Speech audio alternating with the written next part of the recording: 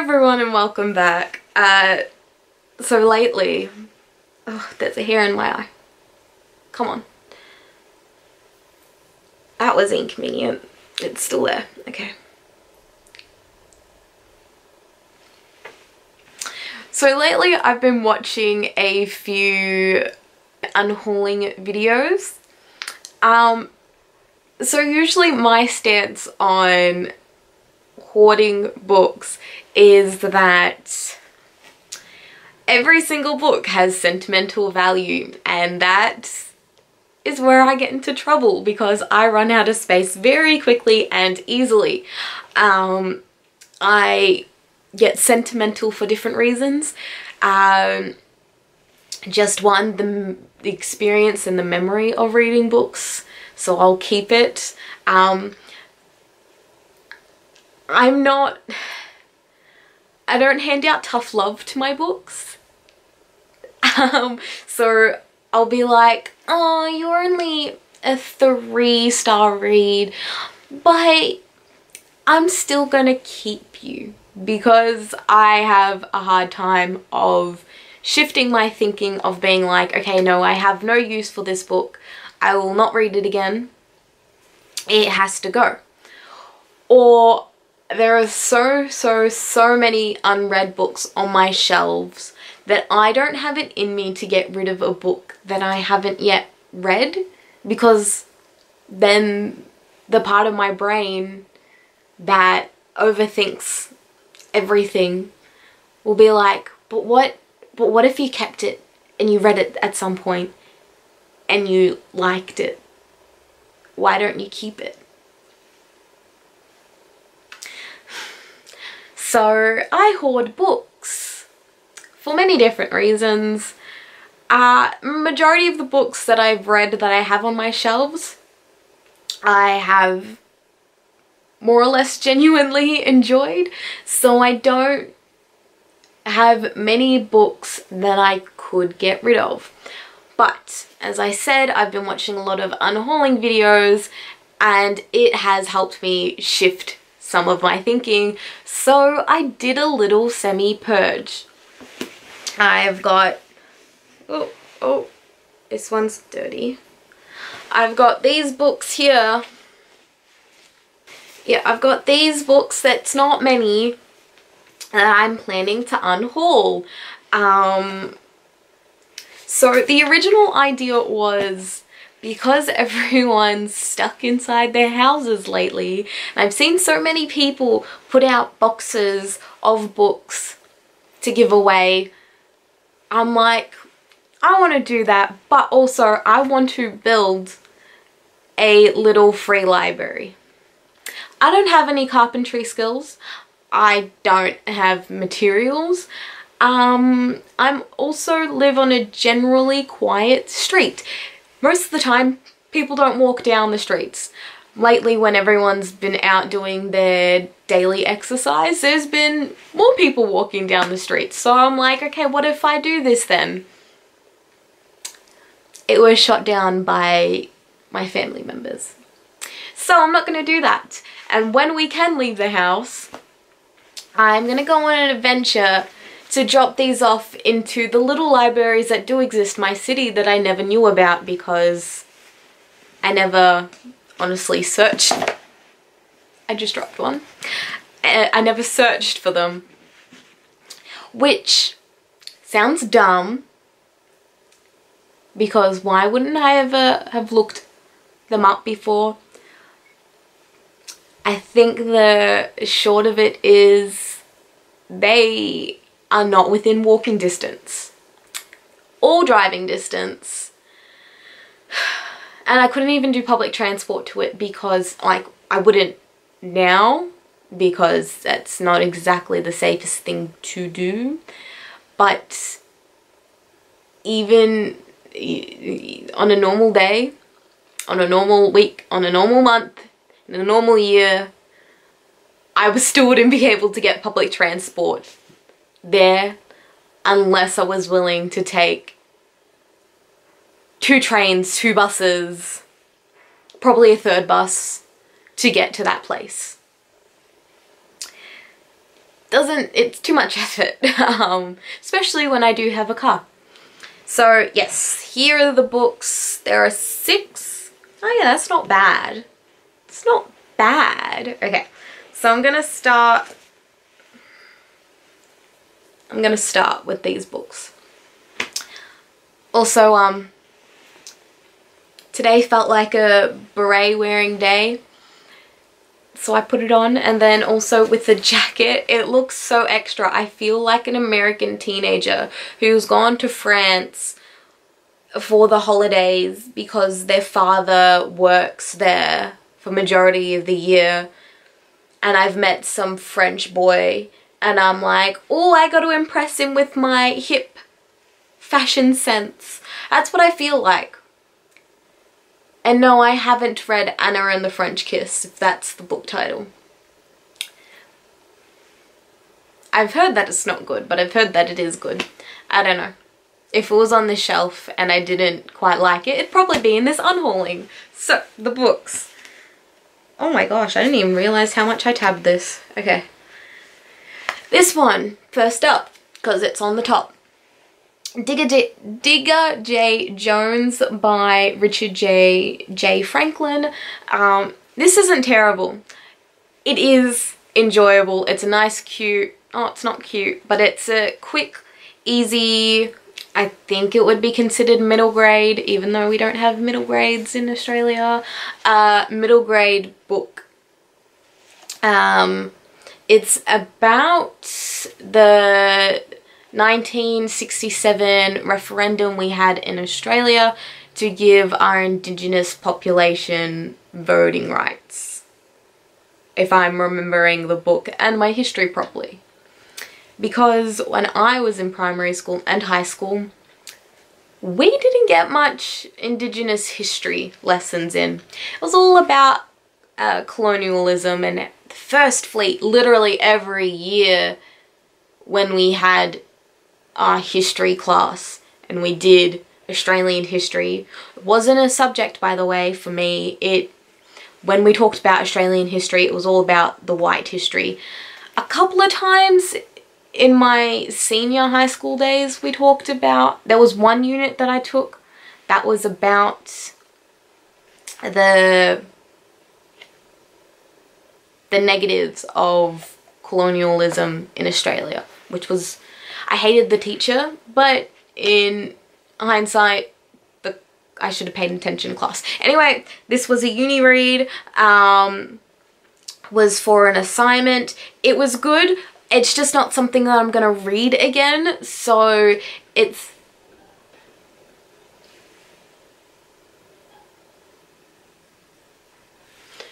it's just better off not being in my possession and passing on to someone else who could potentially enjoy it and then they could potentially pass it on or keep it themselves if they really, really liked it. So, first up. Second up is Beautiful Disaster by Jamie McGuire. I read this in year 9. Probably shouldn't have. Um, I think it's considered adult romance, but I think this would technically fall in the new adult genre nowadays. I found this in a Kmart and I read the back and I'm like, oh, interesting. It's a romance about college kids. And it starts off with good girl, bad boy. The blurb is so misleading. It is actually blatantly lying. I I liked it, but it's still not the greatest, and I'm never ever gonna read it again. Uh, the writing wasn't polished. I don't know, there's just something about when I'm reading, I think I've mentioned this before, but it honestly, it bothers me so much that when there is a scene, there's characters and props, and if the props aren't all moved consistent, consistently, continuously,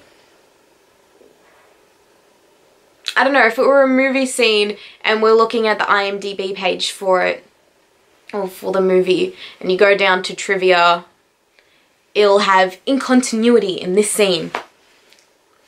That's what I notice and I don't know why it bothers me. Mm. Anyway, next.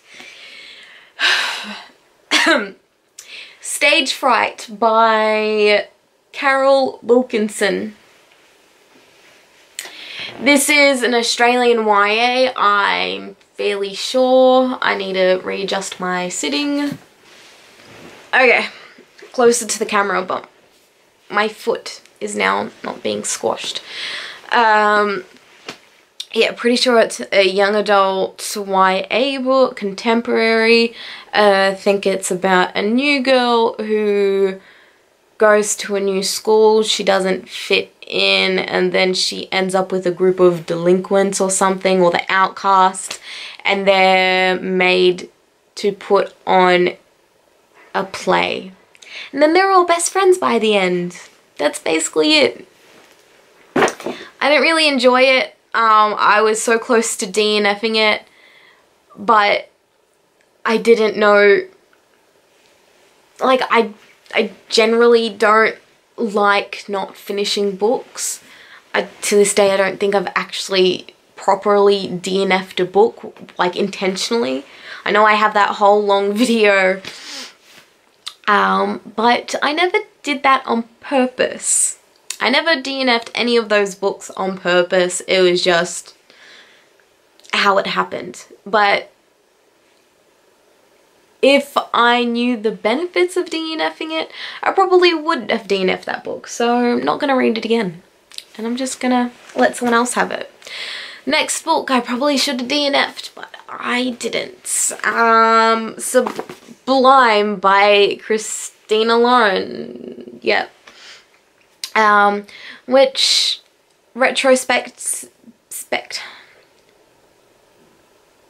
Hind, in hindsight, I'm not even going to try and say the other word um, because I struggle with adverbs apparently. Um,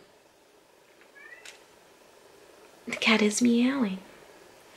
Um, I'm surprised. In hindsight, I'm surprised because this writing duo is raved about and I don't know if it's because this is one of their earlier books that they just uh, they didn't it's just one of their earlier books that and they haven't really settled into their style yet or if it's one of them more experimental ones because this is paranormal romance and the other stuff's contemporary I don't know I don't know. I really, really, really, really did not like the ending. I got to about half, like, I got to part way through the book and I'm like, this is so dumb. I hate the concept. It was good before, but now I hate it.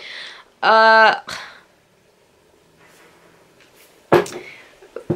I promise these books aren't getting damaged when I drop them. But if I was rating my books, jumping back and forth between statements, um, if I was rating things on Goodreads when I did read that, I probably would have given it a one star. the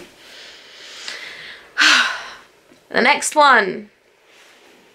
I hated, but I had no choice and I had to read it because it was a high school read. I hated this. It was so dumb. YA, okay, it's Destroying Avalon by Kate McCaffrey. Kate McCaffrey. Um, YA contemporary based in Australia about a new girl moving to a new school who wants to fit in and be popular and so how she goes about and does that wait is she the one being cyberbullied or she's I think she cyberbullies and she gets it back and she's like why and then she does it I don't know I it happened I read it so long ago for high school I did not like it at all. I thought it was just so stupid. I the whole point of us reading it was for cyberbullying awareness and all of that identity bullshit that they try to teach you in high school when smothering individual individualism I can't do isms either, apparently. Not today. Uh, yeah. I hope that was a finished sentence because I forgot where I left it because I couldn't speak. So that one I'm never ever ever gonna read again. read it in year 9. Let's see how many years it's been. Year 9.